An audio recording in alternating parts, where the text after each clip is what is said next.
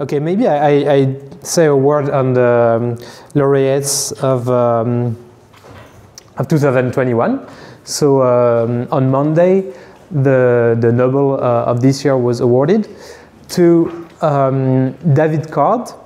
Um, so yes, actually when we say the Nobel, Nobel Prize, it's a shortcut for the Sveriges Riksbank Prize. So Sveriges Riksbank is the central bank of Sweden in economic science in memory of Alfred Nobel. It's not really a Nobel Prize like the, the five others. It was created uh, in, uh, in 59, no, uh, 69, sorry, 69, so uh, I don't know, 70 years after the, the first uh, Nobel Prize, and, uh, and by the Central Bank of Sweden, not, not from the, the, the wish of Alfred Nobel. Um, so uh, David Card uh, shares uh, half the price. It means it will get half of the million dollars for his empirical contribution to labor economics. And Joshua Angrist and Guido Imbens share the rest of the prize for their methodological contributions to the analysis of causal relationships. So uh, the, the, three of them um, are at the forefront of the empirical turn that uh, economics has taken in the 90s. Um, so, which is due to, to, two factors. The first one is that we started to accumulate a lot of data and having the computing power to analyze it. And the second one is that um, economics before that uh, ha had a lack of uh, credibility. Um, so, so labor economics was at the, the forefront of this uh, change. Basically, people were putting into question the results because they were not really uh, proven or really well proven statistically. And um, thanks to uh, these three uh, uh, Nobel laureates, um, economics has changed for, for good. Um, and, uh, and now he's, is very much more um, how do we say, exigent? We said that in English.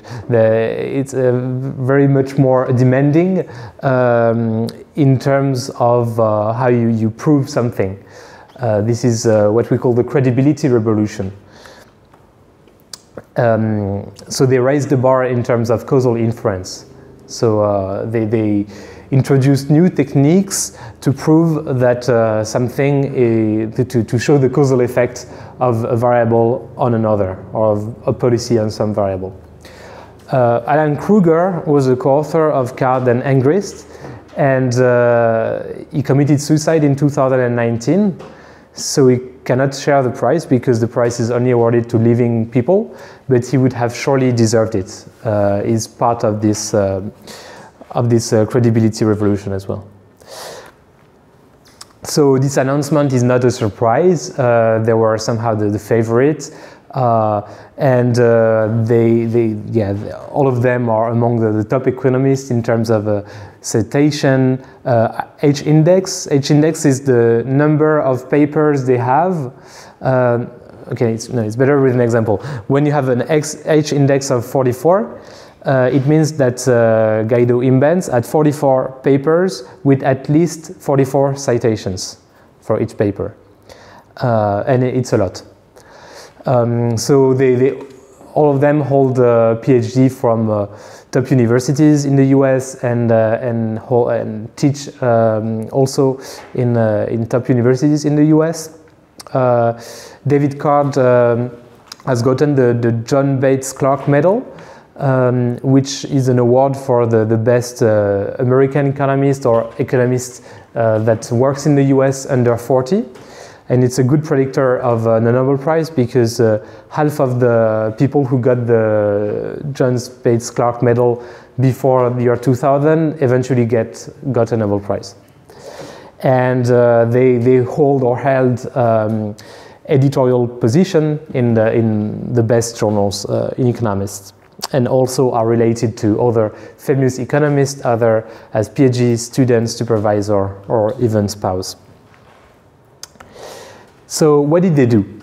Um, there is a famous uh, paper by um, David Card and Alan Krueger that uh, popularized the difference and difference, diff and diff uh, methodology to prove causality, and on the question of uh, minimum wage. So they look at um, reform uh, of the minimum wage in New Jersey. The minimum wage uh, increased uh, by 20% on a given day in 92 uh, while it remained at the low level uh, in the, the, neighboring states of Pennsylvania. What they did is they served, yeah, so the naive approach uh, to, to estimate the causal effect of uh, an increase in the minimum wage on employment would be to, to compare uh, the employment before and after uh, in New Jersey. But the problem is that you can have confounding factors uh, like um, you can have omitting, omitted variables, like for example, the, the change in uh, macroeconomic condition for the region in this year. Uh, maybe the, there is a, a, national recession or a boom, and uh, and this has nothing to do with the legislation. So uh, you can, it would be flawed to just compare before and after. So um, what they, they did is uh, to compare the change in unemployment in New Jersey relative to Pennsylvania. So that's why it's called difference in difference because you have two difference. You look at the, the change in employment before and after the reform and the difference in this change between New Jersey and Pennsylvania. And the idea is that uh, because these are neighboring states, everything, every omitted variable uh, that is uh, relevant uh, to New Jersey would, would also evolve in the same way in Pennsylvania. If there is a change in macroeconomic condition, it will probably be the same uh, in both sides of the border. So uh, the identification assumption here, uh, the, um, what we mean by identification assumption is the assumption we need to be certain that the coefficient we estimate really measures uh, what we have in mind. Uh, in this case, the causal effect of the minimum wage increase on employment. The identification assumption here is that um, if there had been no minimum wage increase, so no treatment, employment would have evolved in the same way in both states. And um, by uh, looking at the Pennsylvania as a control group, uh, you capture all kinds of omitted variable who, which would have evolved in the same way in both states. So the, the, the, assum the identification assumption uh, can be violated if there is something special happening to New Jersey at this precise date. Uh, at the same time, for example, if there is another uh, law that is passed at the same time as the minimum wage, and um, and yeah, so so to, to be sure that the identification assumption makes sense, uh, researchers need to to to show that uh, it was not the case, and uh, here it's credible because.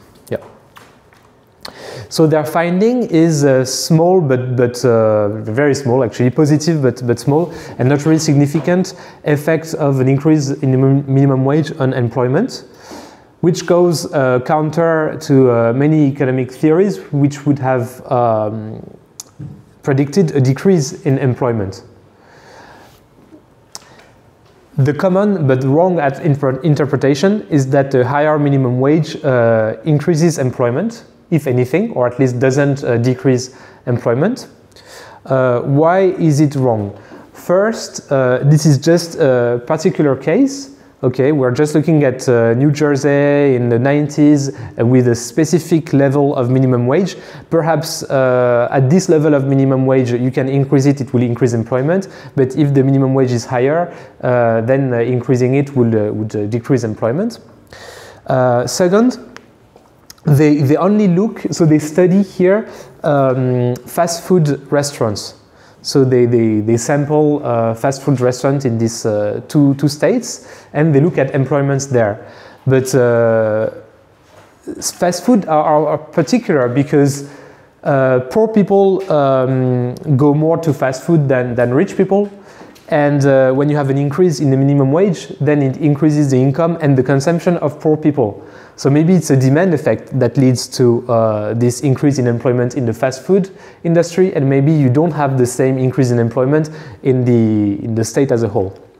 So actually in their paper, they show that uh, in the state as a whole, uh, results are mixed. So employment increases for, um, for uh, teenagers and, and decreases for uh, adults, but, uh, but teenagers are much more subject to the minimum wage than adults, and at the same time there was a recession. So there, there is mixed evidence at the state level, but that was not their point anyway. The, the good interpretation is that the, the, exist, the existing models of, uh, of the labor markets at the time of the, the, the study uh, failed. Um, the, the prediction of these models um, were inconsistent with uh, their observation. And this is what they wanted to, to prove in this paper. And this paper made it to posterity with the, thanks to the new methodology uh, it introduced. So uh, what they did is exploiting a natural experiment. So uh, an, experiment is uh, when a researcher um, decides a, setting, uh, controls the setting, uh, uses uh, generally a control group and a treatment group, and observes the effect of the treatment because directly because the, the two groups are taking, taken randomly in economics, you, you, you, often cannot do that. I mean, sometimes you can do that, and um, and this is what uh, experimental economists do. Uh, they they usually um, use uh, students in the lab and and uh, put them into random groups. But this is uh, a natural experiment where you use quasi-random, quasi-exogenous variation that happen in the real world uh, to measure the causal effects you're interested in. So using a similar methodology, David Card uh, studied immigration and found no effect or very small effect of immigration on um, the employment and the wages of uh, natives. The, the, the, the, thing he exploited uh, is the, the arrival of, uh, I think, 100,000 uh, Cuban um, migrants in, um, in Miami at a given uh, year, and, uh, and studies which, which increased the, um, the, the supply of, of low skilled labor by 7%, and compare this to the evolution of the labor markets uh, in the same period uh, in other towns like Los Angeles or Houston uh, that didn't experience the increase, uh, the, the migration uh, inflow. So um, he also uh, contributed to literature on um, education by measuring correctly the returns to schooling. And that's a good transition to Joshua Angrist, uh, who worked extensively uh, on education as well. So Angrist and Krueger popularized the instrumental variables uh, method, which is a method to pin down causal effects. And um, in their paper uh, of 91 that answers the question what is the return to one additional year of schooling in terms of uh, future earnings. Um, because yeah, there are maybe uh, maybe schooling uh, is important because uh, because you, people learn uh, useful stuff, or maybe it's not, and uh, and the reason why more educated people um, earn more than no educated people is just a correlation. Uh, it's, uh, it's, signaling, for example, those who have the capacities to, to earn more later in their life, maybe because of their sociological background, uh, it turns out they will also make long studies. Uh, so how can we evaluate the, the causal effect of, of schooling and whether it's really useful? Um, and why is this question important? Because uh, we, we, should um, if we follow economic theory, then we should uh, enroll people into school as long as uh, the return to schooling are higher as the cost of, uh, of teaching. Yes, so because of omitted variable and reverse causality, as I just explained, you, you cannot uh, really simply compare the, the wages of people who did uh, long studies and those who did short studies. So to causally identify the effect on income on, of one additional year of schooling, we can use an instrument. What is an instrument? It's a variable that will affect income only through its effect on schooling duration. So there is a causal link between the instrument and income, but all this link, all the mechanism goes through schooling duration. And so when there is a, a, variation on this variable, it creates an exogenous variation in the duration of schooling, which in terms will affect income, and uh, we can uh, identify the causal effect of schooling duration because uh, we know it's uh, due to something else. It's not, uh, it's not due to another omitted variable. So what they use in practice for this uh, paper as an instrument is the month of birth. Indeed, the month of birth affects schooling duration because there is a law that uh, says you, people should attend uh, school until at least 16. And those who are born in January, they, they then uh, they cannot um, drop out school in the same year as those who are born in December. Uh, those who are born in December can uh, drop out uh, earlier because they, they start school in the, when they are young, uh, younger. Uh, did I? Maybe it's the contrary what I just said, I think. Anyway, um, so th there is 25% of potential dropouts um, uh, that are born um, born yeah, okay. No, so among those who are born at the beginning of the year and, uh, and who are potential dropouts, 25% uh, uh, remain uh, one more year in school um, due to this law. And so here the identification, identification assumption is that the month of birth has no influence on income other than through the duration of schooling.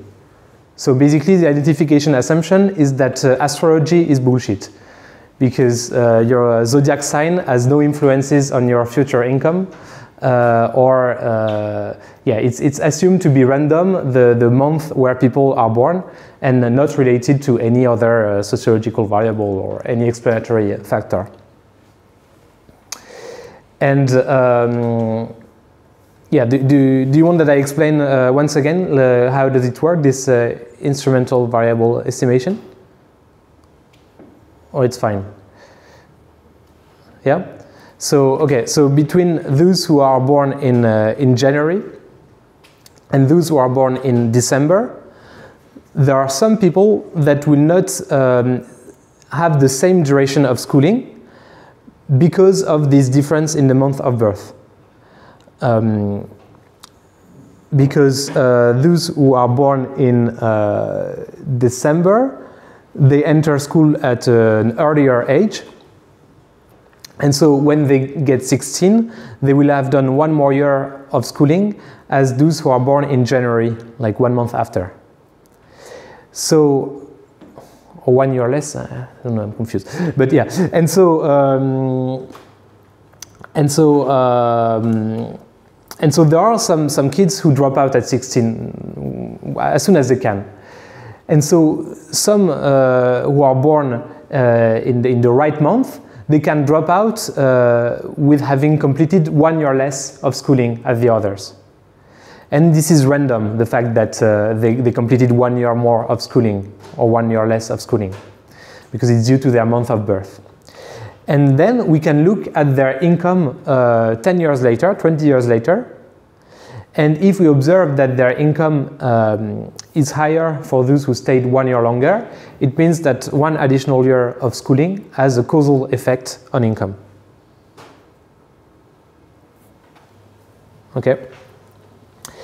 And uh, the finding uh, is that the returns of schooling are in line with those estimated by uh, more rudimentary techniques, uh, simple regression, ordinary least square, which is reassuring for what has been done before.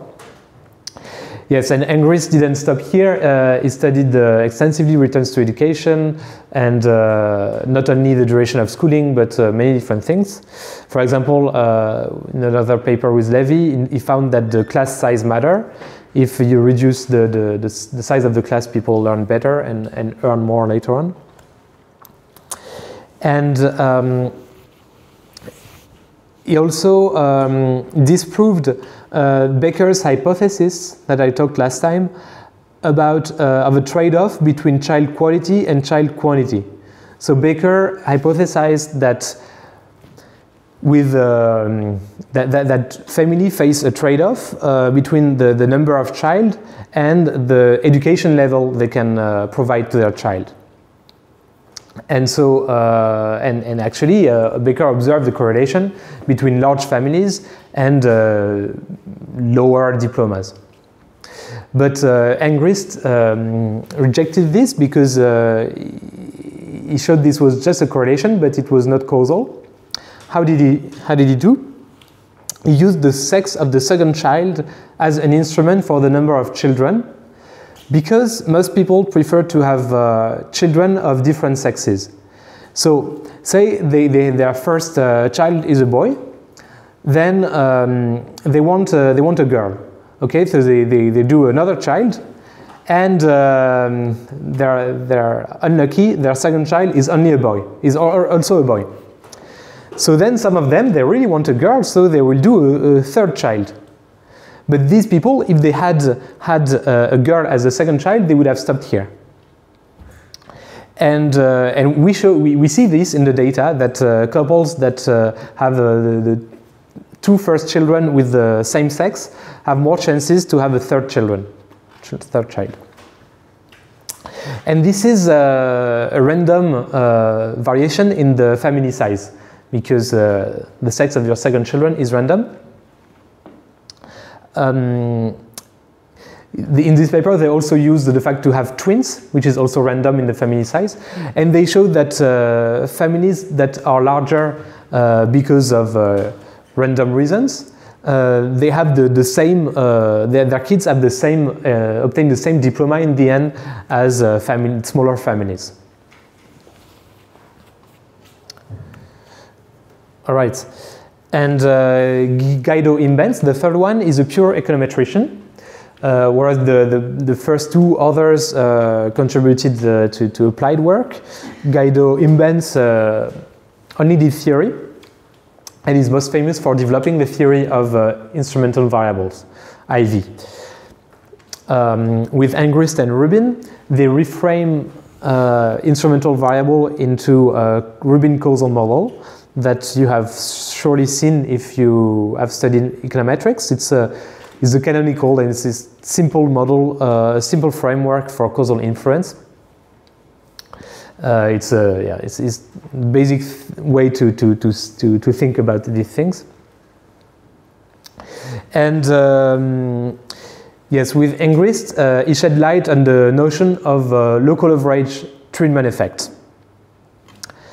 So what is a local average treatment effect? It's what is actually uh, estimated using an IV regression.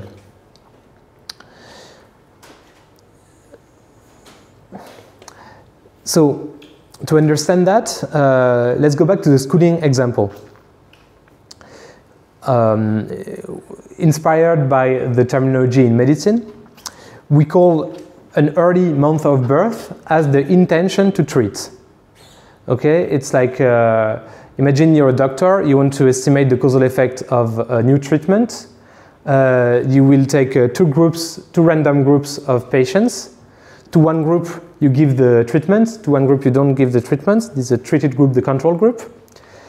The thing is that in the treated group, some people uh, will not take the treatment or will not take it correctly. This is why there is a difference between the intention to treat, being in this group, and uh, being treated. Uh, so they, they use the, um, the, the, same uh, distinction for IV regression. So here the intention to treat is the month of birth, whether you're born in January or uh, in December, for example. And the treatment is to drop out at 16. So uh, some people, whatever, uh, when they are born, they will uh, go to the university and, uh, and they will not be treated in the sense that uh, they, they will not drop out uh, school at 16 or um, so they will not have this, the, yeah, they will not be treated. And the thing is that um, the, the, the effect on the outcome, which is the, the income in the, in the adult uh, life, is only measured on these people who drop out at 16. Okay, we cannot uh, understand what would have happened to uh, those who stay in the university if they completed one additional year of schooling. Let's say uh, one master instead of just one bachelor. So the intention to treat is assumed to be randomly drawn. Okay, uh, December or January, it's random. But there are two non-random groups, the compliance, those who are treated if they are in the intention to treat group. So those who drop out uh, at 16 um, instead of, uh, so yeah, when they are uh, in the, um, when they are born uh, at the beginning of the year. So, or said uh, in a better way, those who have uh, one um, additional year of schooling uh, when they are in the born in the in the right month, and the non-compliance, those for which being born in the right month doesn't affect their uh, schooling duration because they, they, they study longer in any case. So yeah. So the IV method measures the average treatment effect on the compliance only, only on those who take the treatment, so only on those who uh, have a lower schooling duration because of the instrument. So it's a local effect. It's an effect on this subgroup and one needs an extra assumption to infer the treatment effect on the whole population. To infer the returns uh, on schooling to the whole population, we have to assume that uh, the returns of schooling are the same for those who drop out at 16 and for those who don't. That the treatment effect is the same among non-compliance and compliance. Okay, and um, I think I forgot something in the slide of Angrist is that uh, is uh, really famous for uh, his textbook, uh, mostly harmless econometrics, and uh, actually I think he, with uh, and they um, published recently a new textbook which is which probably improves over mostly harmless econometrics. I think it's mastering metrics. So it's, uh, it's quite short, like uh, 200, 300 pages, and it reads uh, easily. So if you want uh, an easy introduction to econometrics, uh, I recommend that.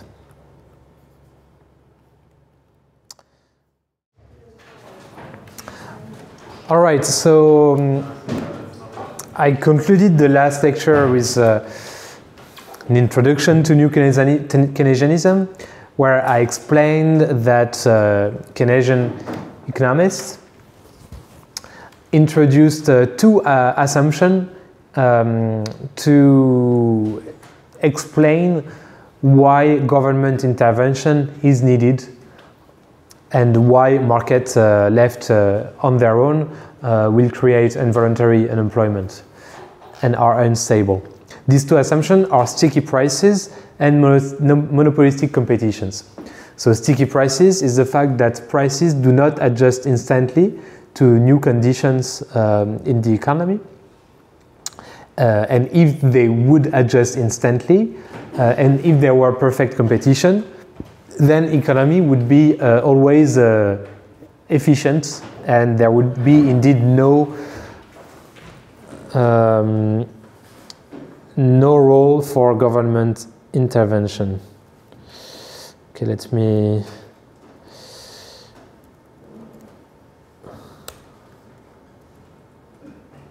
Solve that's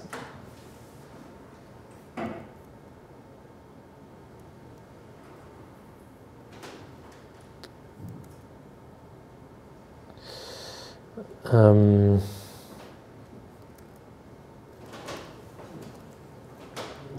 there is no Wi-Fi.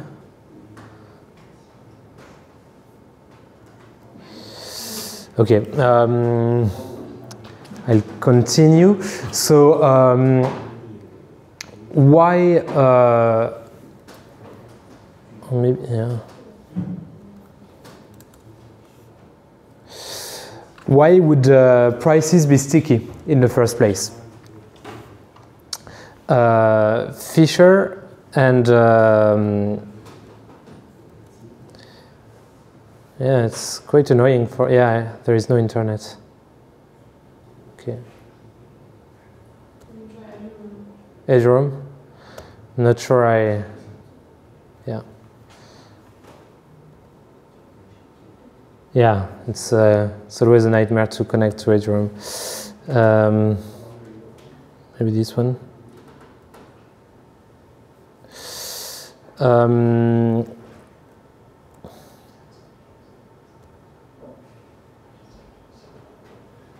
does it work? Okay, so um, so some uh, Fischer and Phelps, who won the Nobel Prize, uh, provided uh, a simple justification to, to rigidity in prices, um, which is called, and in wages actually. Um, it's easier to think about it in terms of wages, um, and it's called the staggered wages. They observed that uh, wages are, are fixed uh, in nominal contracts for so when you sign a work contract, your wage is defined in uh, nominal terms, like a certain amount in francs, for the next few years. And uh, if there is inflation or if there is a variation uh, in, in, in prices or in conditions of uh, your company, they cannot change your wage uh, every month to uh, adapt. They have to wait uh, at least one year or yeah so there is some rigidity. And and Fischer um, provides this justification and also also shows that the policy ineffectiveness proposition from Sargent and Wallace rests on the flexibility of prices rather than on the assumption of rational expectation. I recall this proposition. It says that monetary policy is ineffective as long as it's systematic. Like uh, the government can fool people once, but uh, cannot fool people a thousand times. And uh, if at each recession the central bank or the government lowers the interest rates, then people with rational expectation will anticipate it. And so uh, will adjust their, their labor supply uh, consequently, uh, they, the, the policy, the monetary policy would be ineffective because to be effective, it uh, would have to, to rest on the fact that uh, the real wage um, diminishes because um, inflation uh, happens and uh, but but not uh, wage inflation. Wages stay the same in nominal way in nominal terms, and uh, workers are fooled into thinking that uh, there is no inflation, uh, and so um, and so they accept the, the, the, new job offers made by the employer employers. Um, because um, and employers make uh, more job offers because the real wage has decreased. But this uh, also, uh, this ineffectiveness proposition rests on the flexibility of uh, wages. Um, and, uh, and if you drop this uh, flexibility assumption, then you reintroduce the Keynesian effect. There is another way in which, um, wait a minute,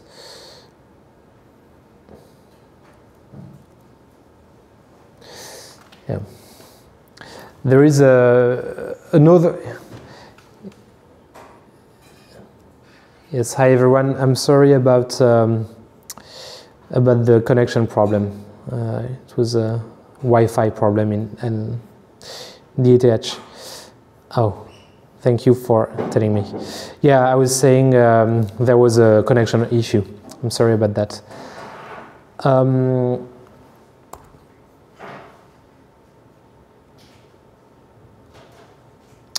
So, um, so yeah, I was saying that the, um, the reason why prices would be sticky is because of staggered wages. So uh, wages are, are fixed uh, in nominal terms and uh, cannot be changed frequently. And the, the second reason is menu cost. So menu cost uh, is called that way because it's the price of uh, changing the menu in a restaurant, the, the price of printing a new menu. Uh, but actually, it's not, of course, not the, the price of, of printing the menu that matters, but it's the cost of upsetting customers if you change the price every week in your menu. Uh, and also because it takes time and attention to, to change prices frequently. although the loss of not changing them would be small. So overall, it, it doesn't make sense for people to, to change uh, prices frequently. Yes? one question about um, when we also why the prices are sticky. So how does the um, theory of staggered wages would then also explain sticky prices? I mean, sticky wages, yes. Yeah. Like why? Why? Okay. Because before we said that maybe wages are less flexible than, than prices also in the. the okay, it's, it's, a, it's a good question. Is uh, uh, the question is, we, we talking about, are we talking about uh, sticky prices or sticky wages? So actually there are, there are both. Um, both are, are related and different. And uh, both assumptions are made, or sometimes only one of them, uh, by new Keynesians. So, uh, so staggered wages, it's more for wages, that's true. the menu cost is more for prices. Um, yeah. And then uh, came Calvo, uh, who proposed a, simple model uh, where only a fraction of the goods of the product um, can change their price at a given period. So let's say uh, half of the firms can change the, the price of their goods uh, in uh, even years, and the other half can change the price of their goods only in odd years. So it's an unrealistic assumption, of course, but uh, it's easy to write down mathematically, and uh, it amounts to the, the same uh, phenomenon as the, the more complicated way to model it. So um, this is the, the Calvo pricing that was adopted in most modeling work. And uh, all these uh, way to model uh, rigidity in prices or wages have in common to justify government intervention uh, because prices and wages cannot uh, adjust uh, to their efficient level. Then the second assumption introduced by New Keynesian is monopolistic competition. So there are different kinds of imperfect competition. There is monopoly, where uh, there is only uh, one firm in a given market uh, which can then set the price as high as they want and, and earn a lot of rent, of profit oligopoly, when you have uh, only a small number of firms um, sharing the, the, the, market, like Pepsi and Cola, for example, and Coca. When you have barriers to entry, for example, because uh, we need a patent to, to enter uh, as a new firm in a, in a market. Um, and there is product differentiation, which is also called monopolistic competition. So I'll explain it in a minute.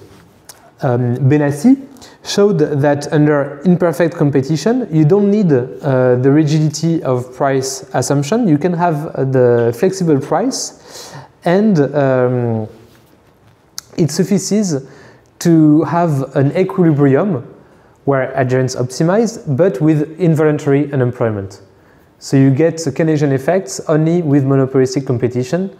Uh, you, you, don't even need um, um, rigid prices.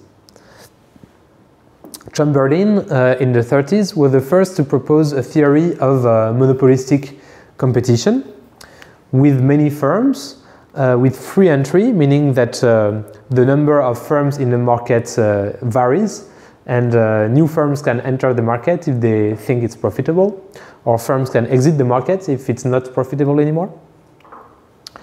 And uh, so, so it's competitive in this sense. There are, there are many firms, but it's monopolistic in the sense that each firm has some market power due to uh, product differentiation. So uh, you can think of um, brands of cars. Okay, to, to, to a certain extent, uh, uh, Toyota and uh, Mercedes are substitutes, but only to a certain extent. Because uh, people have uh, different tastes. Some will prefer the Toyota that has some special characteristics, and some will prefer the Mercedes. And, and so some people will be uh, ready to pay more for the Toyota um, because of this special characteristic and vice versa. So each firm has some market power and can charge uh, a price slightly higher than uh, the competitive, the perfectly competitive price. Uh, but this view only became popular after uh, Dixit and Stiglitz uh, put it into equation. So um, the way they model it uh, is this way. The utility function so I should have written u equals, um, is a function in function of the, the consumption of each product, Ci is the, the consumption of product i, takes this form. So if you have uh, mu, which measures the, the taste for vari variety, if you have mu equal 1, then uh, the utility function is just the, the sum of uh, all the consumption. So um, so say uh, you take uh, apples and bananas. Um, if mu equals 1, uh, your utility is the sum of uh, apples and bananas. So you will just buy the, the cheapest between the two.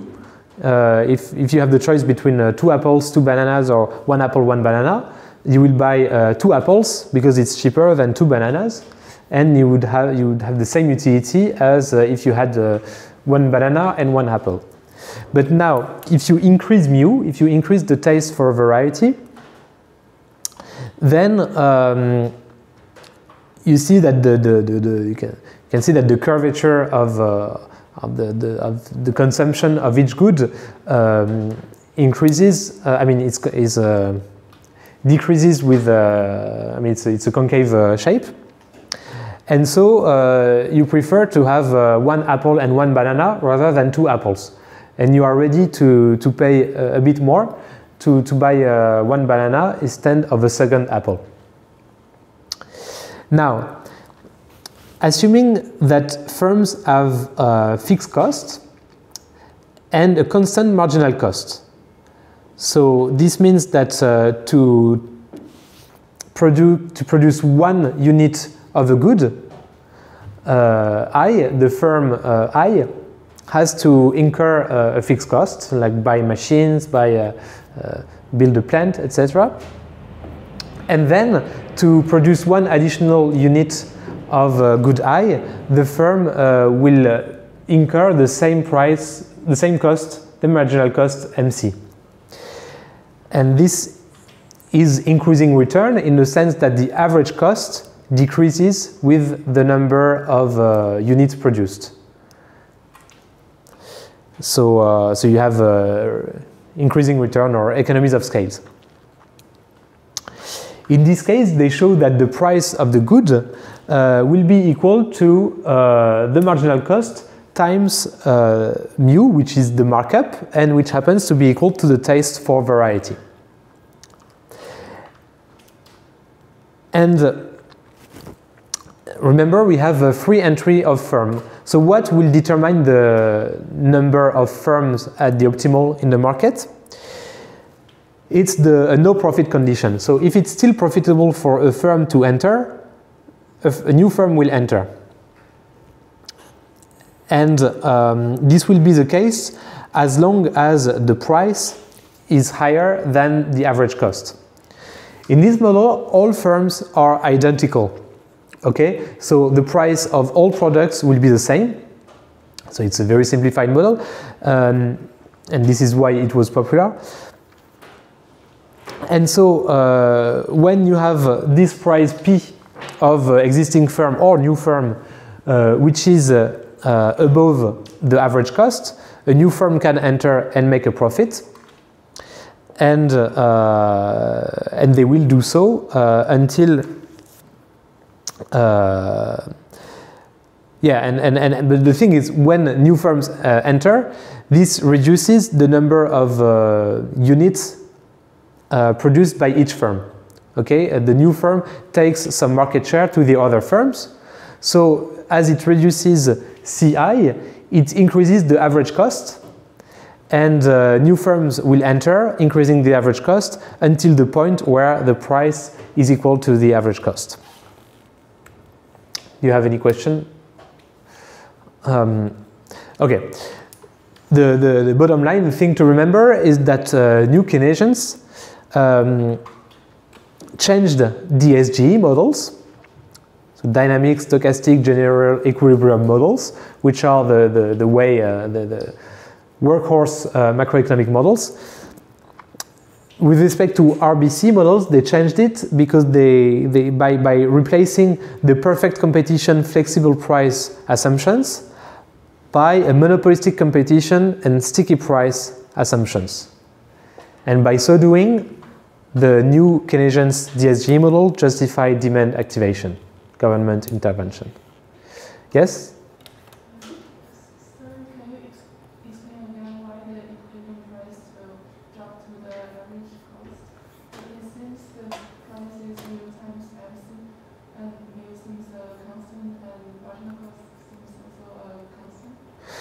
Okay, the question is uh, why uh, would we have the price equals the marginal cost? Why would the average cost change uh, with the number of firms?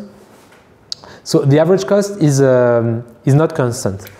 Um, let me uh, draw. So um, here uh, is the, the cost here it's uh, the number of, uh, of product uh, I produced.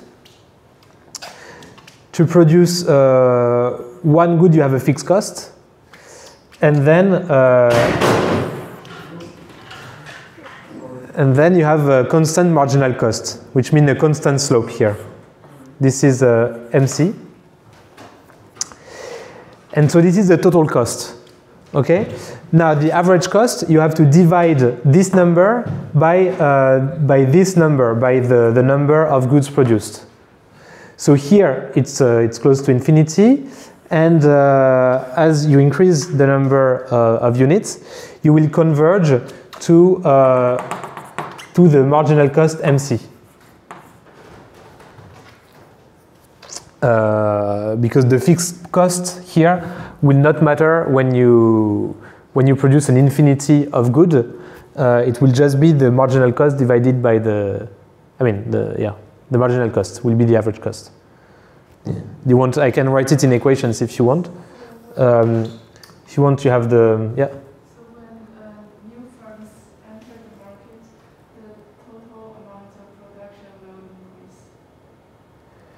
Ah, uh, yeah, no, no, actually, actually, no.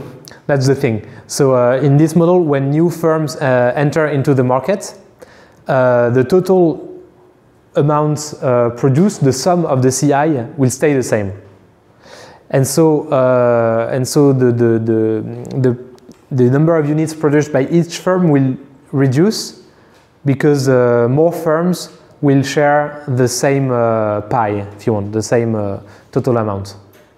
So when a new firm enter, uh, it takes uh, market share to the other firms. So the number of units firm, uh, the number of units sold by each firm reduces, which increases the average cost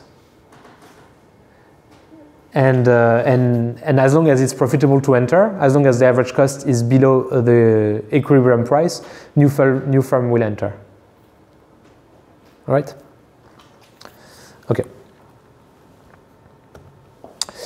Um, now, uh, new Keynesians also uh, reintroduced uh, money uh, at the forefront of the picture. Because remember, with a real business cycles model, real means that uh, there is no money because Kydland and Prescott thought that uh, monetary policy was ineffective and uh, there was no need then to, to model it. Uh, Christopher Sims uh, won the Nobel Prize for his study of uh, the effect of monetary policy, actually. So he started his career by um, trying to figure out uh, which theory was right between Friedman and Keynes, between the monetarists and Keynes, regarding to uh, monetary policy. And uh, he found using uh, new statistical techniques that he brought that it was Friedman who was right. But then a few years later, he was unhappy with his result and, um, and he came to the conclusion that both theories were equally wrong uh, because uh, both of them made the same mistake as viewing monetary policy as exogenous, uh, something that's outside the model and uh, that uh, the policymakers can, can decide and can, you know, as they see fit. But um, he argued that monetary policy and maybe policy in general is better seen as a, a response, a behavioral response of government to uh, the current circumstances, and we should model that as well. And so he, he proposed to um, endogenize uh, monetary policy in the models. And then, uh, yeah. And, and then came Taylor, uh, who presented uh, an, an, empirical regularity in the data. Um, but uh, people uh, really liked uh, what, what, he was uh, showing and um, turned it into a policy recommendation. And central bank became very interested in, in Taylor's insights and, and took it as a, as a guide for their monetary policy, uh, while Taylor uh, was just presenting it as a, a, way to, to represent past data, to understand past uh, data.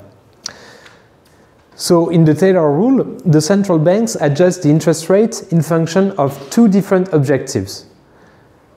The central bank has an inflation target. So for the European Central Bank, for example, is 2%. And actually, the European Central Bank is, uh, is a bit uh, particular because in the, the statutes, it is the only objective of the ECB. Uh, but for the Fed in the US, uh, the both, both objectives are really uh, in the statutes. It's uh, low and stable inflation, but not zero. And um, to have output equals to its potential. So what is the potential output? It's the level of activity, Y star, that can be sustained in the long run. So when, uh, yeah, and I will denote X, the level of activity, the GDP, minus uh, Y, minus Y star, uh, the potential outputs. So X is called the output gap. So when X is negative, it means that output is below its potential. Uh, because, for example, there is uh, unemployed people, because there is uh, underused uh, capacities uh, in in, in capital, And uh, when x is positive, it means that the economy experiences uh, overheating. Uh, for example, uh, people have to work uh, 50 hours a week and it's not sustainable in the long run. And um, the output, uh, the potential output Y star is, is an abstract concept and, and so it's hard to measure. Um, the way it's usually done is to, by just uh, prolonging the trend of uh, past uh, GDP, uh, but uh, it's uh, subject to, to criti criticism. So now here is the Taylor rule. So um, for the beginning, forget about the, the two last terms. Imagine that the, policy, the, the, the economy is, has reached the inflation targets so P equals P star, and uh, output is at its potential, Y equal Y star, so the two last terms are equal to zero. You notice that there is another star, so another uh, target, which is the natural rate of interest. So, which is all, again something hard to measure and uh, subject to criticism. Uh, but the, the idea of the, the R star, it's uh, the, the interest, the real interest rate that um, equates saving and investment. So the, the interest rate that should prevail um, in the economy. And so uh, the, the Taylor rule says that uh, the nominal interest rate set by the central bank should be equal to the real interest rate plus the inflation. That's when uh, the targets are reached. Now, when the economy is uh, not at its target, there are, um, there are rule specifies that it should uh, go in the direction uh, to the targets. So when pi, when the inflation is, uh, is above uh, the targeted inflation pi star, this term is positive, meaning that uh, the nominal interest rate i have to be increased with respect to the case with uh, uh, where, where, the, the, tar the, targets are met. And why would it work to reduce inflation? Because a higher interest rate implies a decrease in investment and um, a decrease in the level of activity of the economy, and in fine, a decrease in inflation. When uh, the output gap is uh, negative, when there is a recession, then uh, is the contrary. The nominal interest rate should be reduced to uh, stimulate the economy stimulate activity. And you see there is a, a compromise to be made between these two objectives because they are sometimes uh, like they, they, go in, uh, in opposite direction. If you have a recession and in a recession you want to, to decrease I, and if you have at the same time inflation, you want to increase I. And to solve the um, to solve the, the um, the, the, the, the to the, the, the, the different uh, objectives to find a balance between them. There are uh, weights, AP and AY. So the higher AP relative to AY, uh, the higher weight is given to uh, the inflation target and vice versa. Taylor uh, found that uh, A wild equals A uh, P equals one half uh, is a, a, good, a, good, fit for uh, monetary policy. So uh, in a sense it would amount to giving the same weight to the inflation target and to the output target. So the advantages of the Taylor rule is that it's simple so that's why it has been uh, so widely uh, accepted and popular. Uh, it's useful for central bank decision making because it provides them a, a way to, to, to decide what interest rate to set, and it has an excellent empirical fit. It, uh, it seems to correspond to, to what central bank actually do. The problems uh, is that it's backward looking. It doesn't take into account uh, anticipations of agent, but uh, we've seen that it's anticipation that matters. Uh, what we want is, uh, uh, I mean, what what will um, produce the future level of activity is the anticipation of agent for a large part. And here they don't enter into the picture. It's not micro-founded. We don't understand why would this be the objective of the central bank. The central bank, uh, it can be argued that uh, it should uh, optimize social welfare. That is what uh, Woodford actually did, and we'll see in a few slides. it provides a modified Taylor rule, same kind of, of thing, but but that's micro-founded with. Um, with the, the, the, equation, the behavioral equation of the central bank um, comes from an optimi optimizing behavior. And other problems, it neglects uh, other potential objectives like the stability of the financial sector. And it neglects also other instruments uh, as, uh, than the interest rates. But the central bank can act on other instruments, uh, as we see in quantitative easing and so on. Also, it um, emphasizes on a new trade-off between the variability of output and the variability of inflation. Because uh, the central bank was to stabilize both at the same time, but there is a trade-off between the two. Is there any question on the Taylor rule? Okay. Um, now, um, New Keynesian's uh, DSG models uh, introduce monopolistic competition, sticky prices in the form of uh, Calvo pricing, and uh, Rotemberg and Woodford, which is a seminal paper uh, in this trend of literature, uh, introduce a welfare maximizing central bank. And they find what uh, Galí and Blanchard call the divine coincidence, that stabilizing inflation also minimizes the output gap. So they kill two birds with one stone, and uh, it's, it's quite dubious that uh, somehow the, the trade-off uh, of the Taylor rule disappeared. Because uh, when they to, when they reach one objective, which is stabilizing inflation, they also reach the second one. Why is that so? Because with Calvo pricing, only a fraction of the firm can adjust their prices. So when you have inflation, it's inflation only on half of the prices, which means that there is a dispersion between prices. Some prices are high and some prices uh, have to wait one period to get higher. And this dispersion in prices means that some prices are false. And this creates inefficiencies in the economy.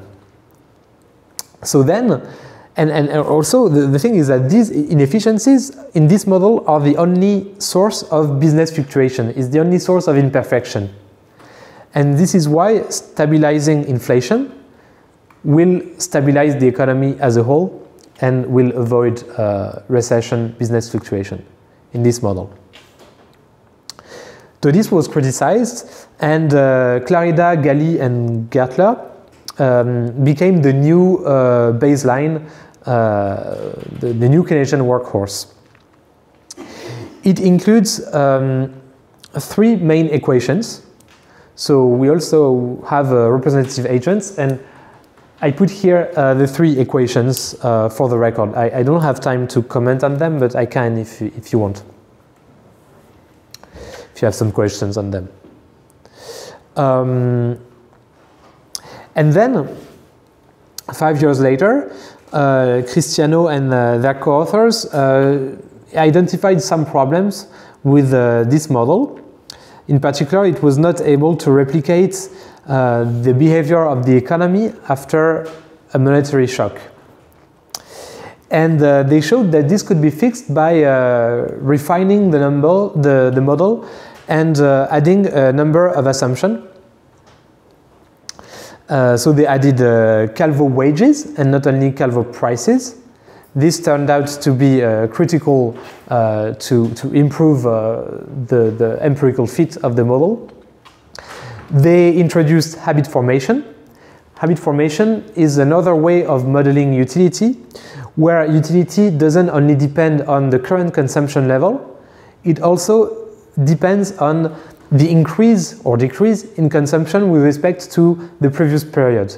So it says that you're not only happy because you consume a lot, you're happy also because you increase more than you consume more than before. And you're unhappy if you consume less than before. Um, they also introduced uh, variable capital utilization and uh, uh, beginning of the financial sector because uh, yeah, firms have uh, to borrow from banks to finance themselves. And then uh, came Smets and uh, Wouters, who estimated this model using Bayesian techniques, uh, so state-of-the-art uh, techniques to, to find the values of the parameters of this model. For example, the sigma here, the lambda, the, and, um, and this uh, work by uh, Smet and Wouters um, became widely accepted uh, so much that central banks finally adopted DSG models. Before them, central banks uh, didn't, they have never used RBC models because they found it uh, too bad. Uh, so they, they, they, kept using um, models uh, inspired by Klein, models by Klein, so neo-Keynesians with big model, Keynesians model from the 50s. Nowadays, central banks use, uh, still use this neo-Keynesian model, and they also use DSG models. The problem is that so uh, so yeah we reached a, a, time so in the beginning of the years 2000 where uh, the DSG program was uh, come to stabilization. Macroeconomists were super happy because they, they, they thought uh, they, they had found uh, the good model of the macroeconomy and they had reconciled new classical economists with uh, new Keynesian economists.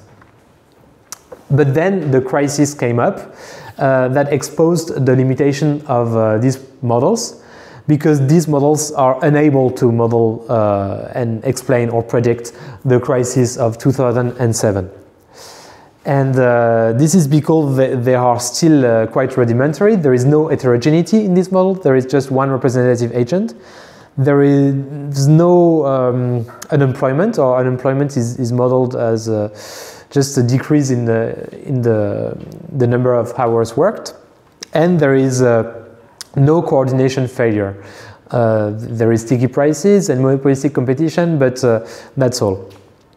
So uh, these models are still unrealistic and subject to the no exploitation principle of Lucas that says that uh, you should not draw policy recommendation from these models because uh, we, they are too uh, far from reality. So, um, so yes, so, so the macroeconomy uh, at this macroeconomics at this stage is uh, is still in shambles because because we know that uh, these DSG model uh, have uh, have some problems, um, but still there is a, a new consensus uh, around these new Keynesian models because perhaps we, we don't have anything better and uh, also because uh, new classical economists and uh, RBC modelers have accepted the changes of that new Keynesian um, offered to their models.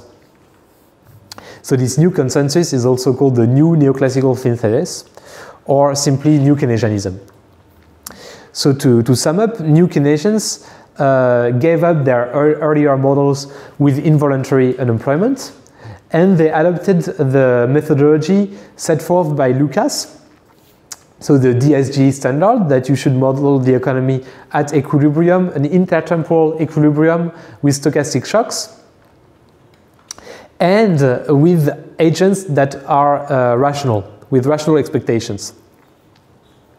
They added to uh, RBC models, though the first DSG models, uh, the sticky price and monopolistic competition assumptions as well as the Taylor rule, the, new Keynesian Taylor rules.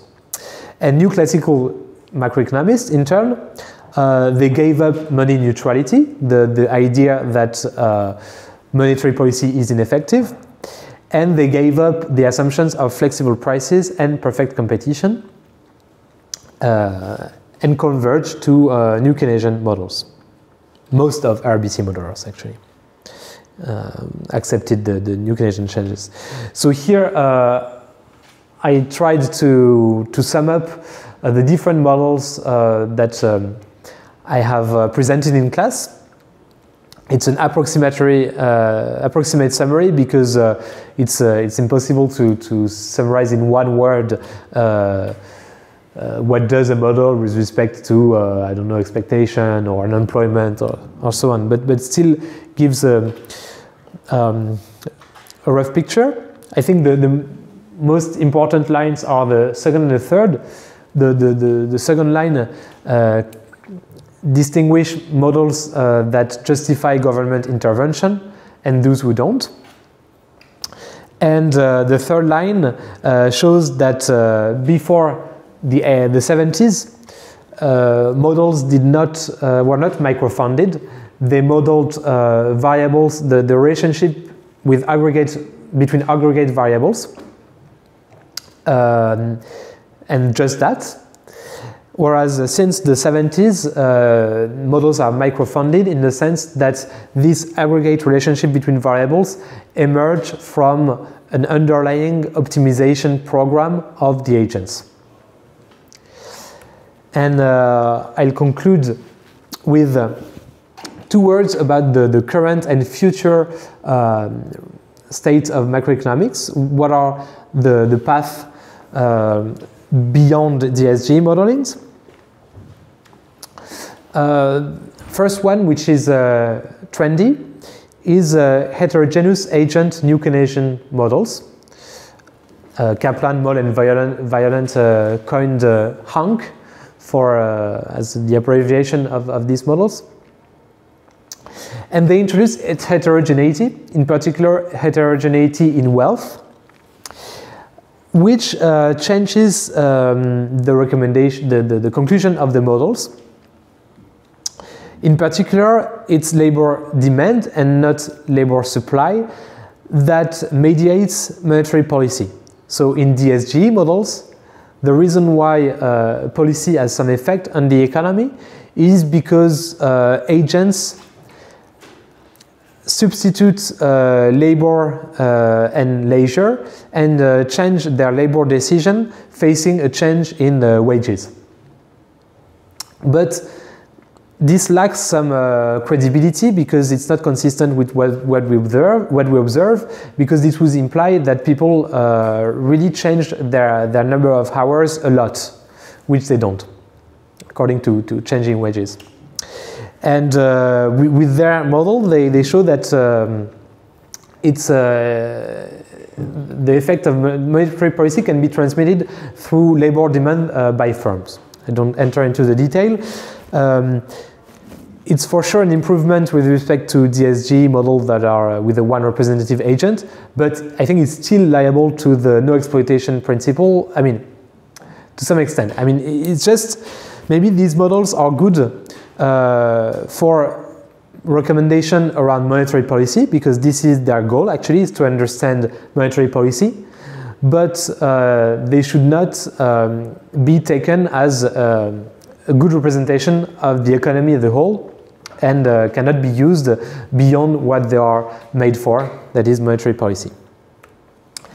And then uh, another uh, way to model the economy would be um, through agent-based modeling.